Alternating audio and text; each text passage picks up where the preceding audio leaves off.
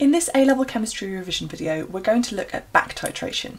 Now, back titration is not specifically named within the A-level specification, but you do often encounter questions that come within the kind of overall titration umbrella. And I think a lot of people get confused conceptually about what's going on in back titration, and that makes the calculations that much harder. So we're going to look at this now. So before we talk specifically about back titration, let's just briefly talk about titration. Remember, I have made a video for the required practical one where you make up a standard solution and then titrate with it, and also a separate video for just regular vanilla titration calculations. So in titration, we're using one substance which we do know the concentration of to work out the concentration of a second substance. So in this example here, I'm going to use a volumetric pipette to suck up 25 centimetres cubed of some acid, and that acid has an unknown concentration. And I put that acid into a conical flask. And the reason I use a conical flask is because when I'm swirling it to homogenise the solution, that's going to prevent any from splashing out, which would be dangerous and also would influence my results. That conical flask is placed on a white tile to make the colour change obvious, and speaking of a colour change, I need to add some indicator like this phenolphthalein here. And in year 13, in the acids and bases topic, um, you talk about different indicators and the fact that we want an indicator that's going to have a really clear, precise colour change to indicate where the endpoint is. So you'd never use universal indicator for this because you'd be saying, well, how do I know when it's neutral? Which exact shade of green is right? So then once I've added that indicator, I can start titrating. And in my burette, I've got some sodium hydroxide or another alkali that I know the concentration of. So by the time that I've finished my titration, because I add it until, um, until I see my first permanent colour change, by the time I finish that titration, I have two pieces of information about the reagent that was in the burette. I know its concentration because I knew that before I started, and I know its volume because I can read that off my burette by looking at the meniscus. So then based on this, I can do a calculation to work out what the concentration of the acid was, even though at the start I only knew its volume. So I can use the chemical equation of the neutralisation reaction between the alkali and the acid to work out the ratio of moles. So let's say that in this example, it takes 40 centimetres cubed of 0.1 mole of sodium hydroxide to neutralise my conical flask of sulphuric acid. Now the first thing that you always want to be doing in any of these quantitative questions is to work out the moles of something. There will be one of the reagents that you have two pieces of information for, either the mass and an MR or a concentration and a volume, and that will allow you to work out moles. So looking at this particular question, I only know one thing about the sulfuric acid, but I have two pieces of information about the sodium hydroxide, and that will allow me to calculate the moles. So by rearranging concentration is moles divided by volume, I get moles is concentration times volume, and it's obviously important that that volume is in decimeters cubed. So I'm going to need to convert 40 centimeters cubed by dividing it by 1000. So if I do that calculation, I can work out my moles of sodium hydroxide. Now I need to know the moles of sulfuric acid in order to be able to work out the concentration. And for that, I'm going to need a chemical symbol equation. Now, if you're not given this in the question, you're going to need to work it out and balance it yourself. And the thing to be aware of with a simple acid-alkali titration is that you're going to need equal numbers of hydroxide ions and hydrogen ions. So because the sulfuric acid has two hydrogen ions, and the sodium hydroxide only has one hydroxide ion, you're going to need twice as much sodium hydroxide as sulfuric acid in terms of moles. So if I've got 0.004 moles of sodium hydroxide, I'm going to have half that amount of moles of sulfuric acid, which would be 0.0020.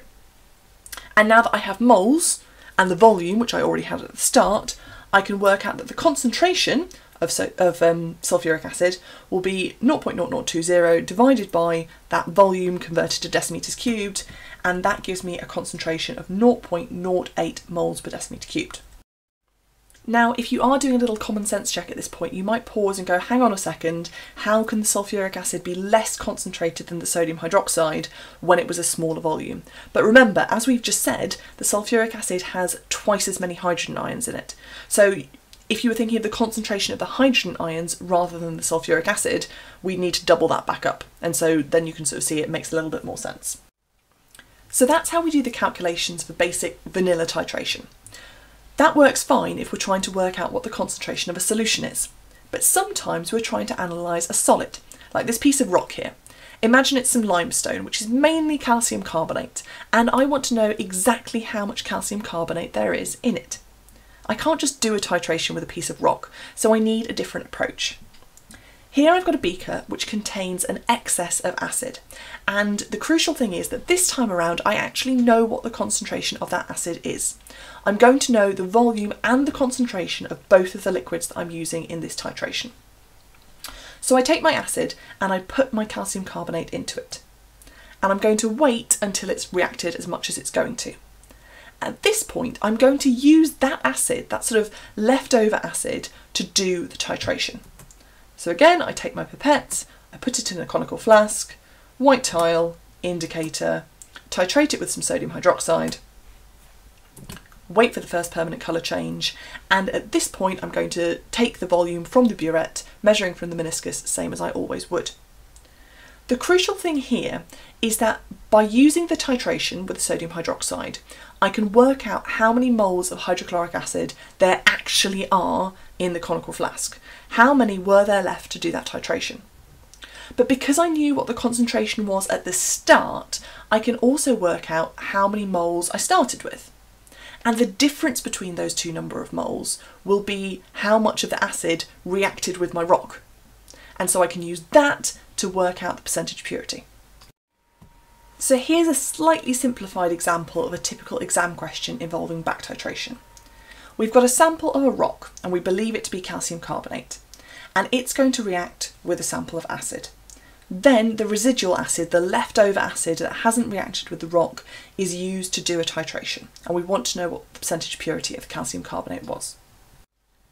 These questions aren't super complicated, but they do have a lot of steps, so it's going to take me a lot of the screen to answer it, so I've just summarised the key numbers from the question down at the bottom of the screen.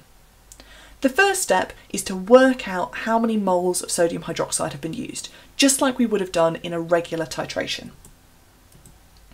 So in this instance, it was one mole of sodium hydroxide and it took 20 centimetres cubed, so that gives me 0.02 moles. Now I'm going to use the symbol equation to work out how many moles of hydrochloric acid took part in the titration. So in this instance, they're reacting in a one-to-one -one ratio, and therefore if I have 0.02 moles of sodium hydroxide, I also have 0.02 moles of hydrochloric acid. My next step is to think about how much acid should there have been. Let's say that instead of putting calcium carbonate in the acid before the titration, I just put something completely inert that didn't react. Well, in that case, how much hydrochloric acid would I have been expecting there to be by the time I started the titration? So again, I can do moles by working out concentration times volume, and I started out with one mole of hydrochloric acid, and there was 25 centimetres cubed, so that would be 0.025 moles. Now, the difference between that and the number I just worked out from the titration, that's going to tell me how much reacted with my carbonate. So in step two, we said that there was 0.020 moles of hydrochloric acid taking part in the titration, but at the very start of the question, we had 0.025 moles. So that means that 0.05 moles has gone somewhere, and the only place it can have gone is that it's reacted with the calcium carbonate. I can use this information together with the symbol equation to work out how many moles of calcium carbonate have reacted. So as you can see from this simple equation, for every 2 moles of hydrochloric acid I only need 1 of calcium carbonate. I'm halving the number of moles. So that means that 0.025 moles of calcium carbonate reacted with the hydrochloric acid. That's how many moles there were in my sample of rock. Now to work out the percentage purity of this, I need to know how many moles would I have if that rock was 100% pure calcium carbonate. So the first thing I need to do is work out the relative formula mass. And this is going to be 100.1 grams per mole. Then I can use mass as Mr Mole to work out how many moles there should be in 4 grams of calcium carbonate. So that's 0.040 moles. If I take the number of moles of calcium carbonate that reacted with the acid, which is shown in white, and I divide it by the expected number of moles if that substance was absolutely pure calcium carbonate, shown in this creamy yellow colour, and I divide the first by the second and then multiply by 100 to make it a percentage, I get a percentage purity of 62.5%. Here's another very similar question so that you can pause the video and see whether you can work through this on your own. On the right hand side of the screen I've listed the seven steps that I went through. So pause the video now. So the first step that we needed to do in order to answer this question was to work out the moles of the reagent in the burette, which in this instance was sodium hydroxide. So I do this by multiplying the concentration by the volume, which gives me a total of 0.015 moles. My second step was to work out how many moles of hydrochloric acid reacted. And as we've already said, sodium hydroxide and hydrochloric acid react in a one-to-one -one ratio. So this is really easy, it's just going to be the same number of moles. My third step is to work out how many moles of hydrochloric acid should there be if there just hadn't been any reaction with the carbonate to begin with.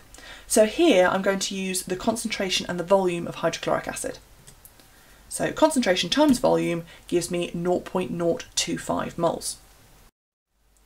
My fourth step is to work out the difference between these values because that will tell me how much reacted with my carbonate at the start. So that's 0.010 moles.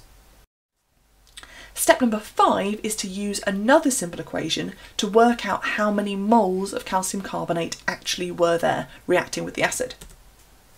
So again, we can see that carbonates, group 2 carbonates and hydrochloric acid react in a 1 to 2 ratio, so I'm going to need to half my moles, and that gives me 0.005. Then I want to know how much calcium carbonate would there have been if it was 100% pure.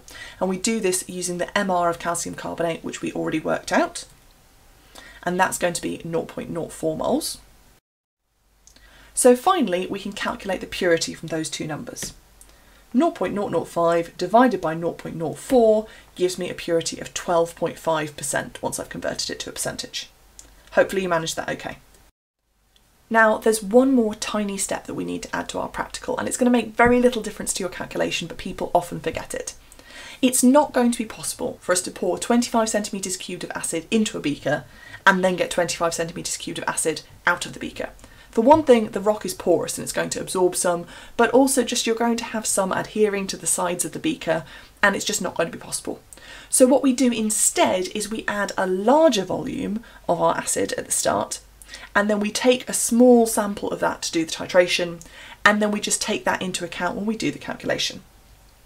So here I've got 250 centimetres cubed of acid rather than just 25 and again my calcium carbonate goes in but I then only take out 25 centimetres cubed and then I carry on and do the rest of my titration.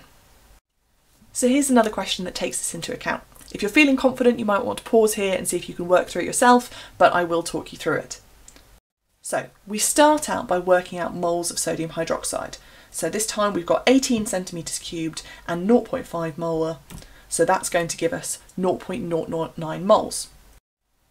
Again, we use the same equation, same one-to-one -one ratio, the number of moles of hydrochloric acid is the same.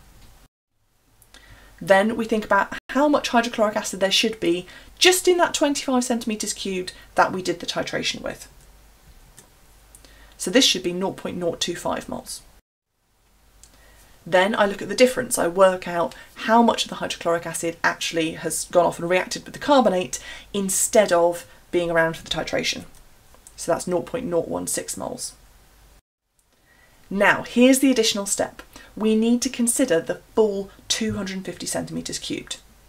So we need to take that 0.016 moles that was um, that should have been in the 25 centimetres cubed for the titration and wasn't, and multiply it by 10 to take account of the fact that our original volume of acid was 250, not 25. So that's obviously 0.160 moles. Now we just carry on as before. So in this question we've got magnesium carbonate, but it's still reacting in a 1 to 2 ratio with the acid. And so again I'm going to divide my number of moles by 2 to give me 0.080 moles. Now I need to know how much magnesium carbonate there is in 10 grams if it was absolutely pure. So I'm going to need to work out the MR again because this time we're using a different carbonate. So I do that and I come up with 84.3. And so therefore the number of moles that we're expecting is 0.1186. So therefore, If I actually had 0.080 moles reacting, but I expected 0.1186 moles to react, that gives me a percentage purity of 67.4%. Here's one final question for you to have a go at if you didn't do the previous one. So this time we've got copper carbonate, um, and other than that, it's all going to be the same process, just with slightly different numbers. So pause the video and check that you can do this calculation. Just like before, we start out by working out the number of moles of sodium hydroxide that have come from the burette. Then we use the fact that we know that hydrochloric acid and sodium hydroxide react in a one-to-one -one ratio to say that in the titration there were the same number of moles of hydrochloric acid. Then we think about our conical flask and say how many moles of hydrochloric acid would there have been in there if there had been no reaction with the carbonate at all. So that's going to be 0.0125 moles. The difference between those represents moles that reacted with the carbonate and therefore never made it to the titration. That's just for 25 centimetres cubed, so we need to multiply by 10 to work out how many moles there were in the original 250 centimetres cubed of acid that we added to our full sample of carbonate. Since we know that copper carbonate is going to react in a 1 to 2 ratio with hydrochloric acid, we need to halve that to get the number of moles of copper carbonate, and then we can use the MR of copper carbonate to work out how many moles we would expect in 8 grams of rock and then finally we can use that number to work out the percentage purity which is 90.3. Thank you very much for watching and I hope that you found that a useful introduction to back titration and the associated calculations. If you did find it useful then don't forget to like and subscribe for more A-level chemistry videos coming soon.